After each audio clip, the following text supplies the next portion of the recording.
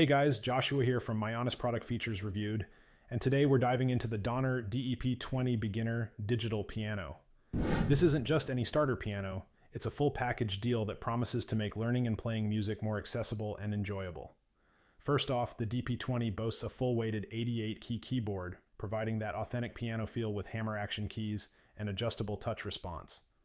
This feature is a game changer, allowing beginners to adjust the piano to their playing style making the transition to an acoustic piano smoother in the future. With 238 tones and 128 polyphony, this keyboard is a playground of sounds. From ukulele to drums and bass, it vividly presents the voices of different instruments, sparking a keen interest in music.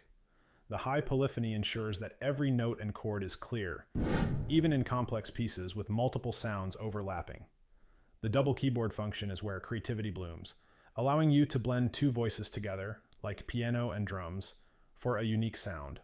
The control panel is packed with features, including sustain and triangle pedals, plus audio inputs and outputs for music arrangement and ensemble play.